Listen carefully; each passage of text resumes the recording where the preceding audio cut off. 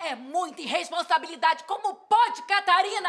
Ótimo que estamos falando de responsabilidade, porque eu recebi uma ligação da escola do meu neto dizendo que as suas mães não foram buscá-lo depois do passeio. É difícil pra você me mandar uma mensagem, uma mensagem me avisando? Ele tava tristinho. Eu resolvi levá-lo para tomar um sorvete e eu me esqueci. Se esqueceu? Você é mãe, Catarina, pelo amor de Deus! Eu vou eu falar. não, eu, eu, eu tô, você acha tô que querendo é? falar, eu vou falar. Fala, Eu fala! acho sim que vocês esqueceram, demoraram pra, pra lembrar do seu neto, do meu neto, Você é uma puta de uma egoísta! É isso que você Valentina, é! Sempre Valentina! foi! Olha isso!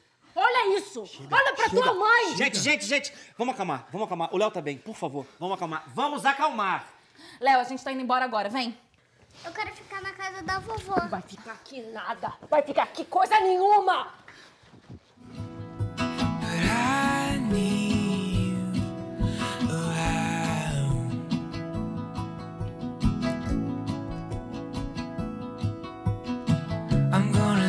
to the